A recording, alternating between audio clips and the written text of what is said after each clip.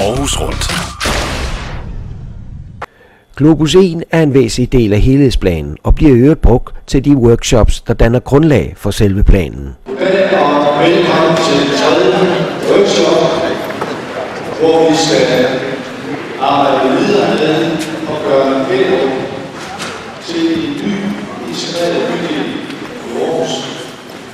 Meget kort fortalt, det er vores opgave, det er, at vi skal ændre hele området derfra med et boligområde til et byområde. Og det er så spændende og attraktivt, at det er et sted, som hele landet, hele Europa, hele verden, hele Aarhus har lyst til at komme og besøge og lære af. Det der er vores opgave, det er, at vi skal lave en ny byplan.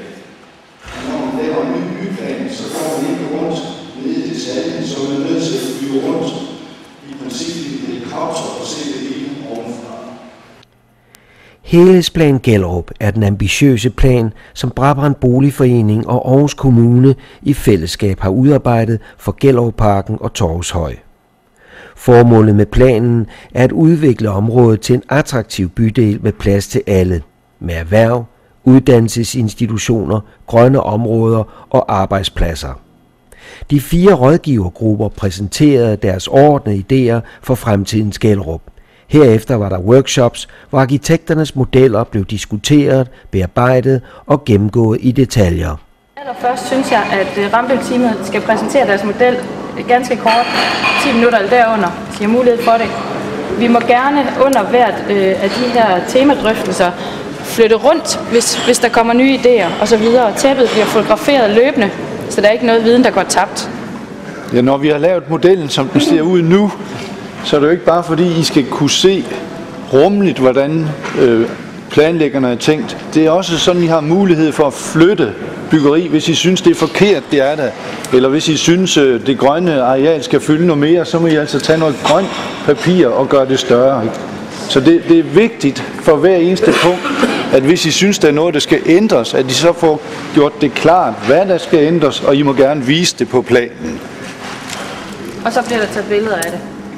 Øh, I, I spørger, hvis der er nogle ting, I er i tvivl om. Noget af det, vi gerne vil øh, snakke med jer om i dag, det er, øh, jamen dels er, er, er de her ting placeret rigtigt, skal det, skal det være nogle helt andre osv., men også rækkefølgen i tingene.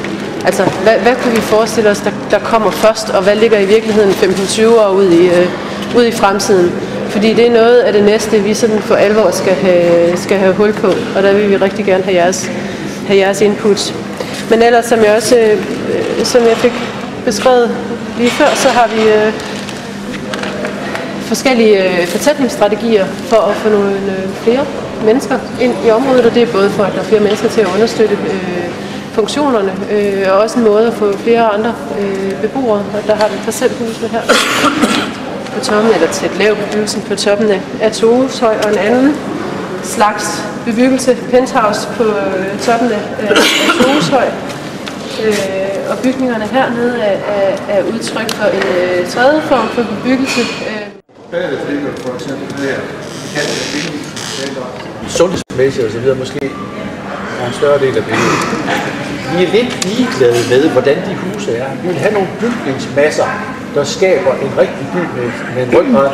Og hvordan sådan øh, byggeriet er, det er vi lidt ligeglade med i første omgang, fordi vi laver nogle generelle strukturer, som både kan være institutioner, kan fungere som erhverv, sågar kan fungere som boliger, og hvor man kan skifte de der funktioner ud i bygningsstrukturen, uden at det gør så meget. Det vil sige, at bygningsstrukturen danner byen, men hvilke funktioner, der kommer ind i den, det tager vi ret afslappet. Der kan komme alt ind, alle steder i princippet. Og det er ikke urealistisk. Det er arkitektonisk. Det var altså ligesom den den, øh, den store streng med, altså med torvet der med institutionerne omkring, og de torv, som også her, det nordlige torv, Togetorvet, som også kan få nogle institutioner, som altså ligger som en gang til øh, kirketorvet. Så gør vi det, at vi tillader os en fortætning her ud langs de der sidegader. Hvis det er hovedgaden, så ligger der nogle sidegader ud her, altså der, den sorte der, og den var ud i Togetorvet. Der må man også gerne lave nogle fortætninger, imellem blokkene, sådan at de fungerer mere som en slags gader eller gaderum. Altså vi skal vi prøve at forene, hvad skal man sige, det ovenfra kommende øh, med det nedfra kommende, eller det udefra kommende med det indefra kommende i området. Altså sådan, at, øh, at området på en måde blev bedre hægtet sammen med dets kontekst. Ikke kun på man kan sige sådan et øh, infrastrukturelt og bygningsmæssigt niveau, men også på, et, på et socialt på et socialt niveau. Hvis man skal løfte sådan et område her, så er det så handler det ikke øh, nødvendigvis om at øh, hvad skal man sige, lave øh, bygge nyt og bygge tæt og så videre. Det handler om, at, øh, at man bygger det for hvad skal sige, dem, som bor der i forvejen. Altså det handler om at få etableret en eller anden form for stolthed i, i beboelsen, sådan at øh, man kan sige, at der er også øh, sådan at øh, man kan sige, at øh, Øh, de folk, som bor, de folk, som bor her, de har et perspektiv med at bo her. Det vil sige, at i stedet for, øh, man kan sige, at de nødvendigvis flytter ud, når, de, altså, når man er ressourcestærk øh, nok til det, så at man bosætter sig øh, i området, eventuelt med eget hus.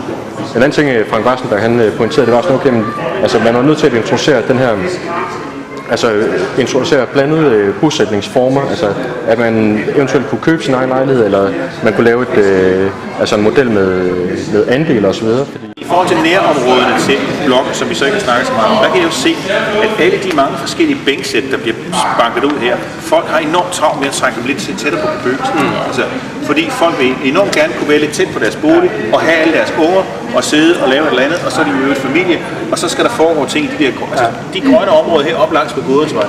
Der er der enormt mange. Ja. Øh, så det er sådan et eller andet med at domesticere udrummet yeah. omkring ens, øh, og så yes. have muligheden for det. Yes.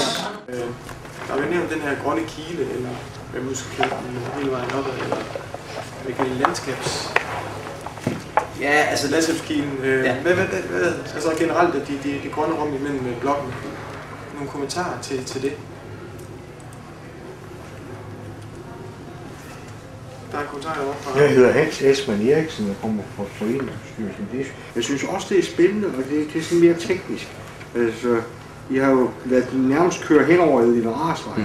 Vil det sige, at I har så har tænkt, I principielt har tænkt jer at køre Edvin Rarsvej ned under jer øh, i, i lavere niveau? Er det sådan noget, I har tænkt jer for at få det der på plads, så man oplever det som et samlet strøg? Fordi det synes jeg i hvert fald er en vigtig del af det, det store greb, vi laver. Fordi der er det jo meget øh, snottet lille bitte bitte gangbro derovre. Den skal øh, forstørres i en hel del. Altså, vi ved ikke teknisk, hvordan det skal være. Her er intentionen selvfølgelig bare fuldstændig åbenlyst, at det er at sammenligne helt. Så øh, jeg ved ikke, om det tunnelføring øh, øh, kunne være reali et realistisk bud, men det vil selvfølgelig være det bedste set for det perspektiv. Øhm, man kan sige, at det vigtige, det er nok, at, det, at der i hvert fald i første omgang bliver etableret den her visuelle sammenhæng, så man får øh, bundet området, områderne meget sammen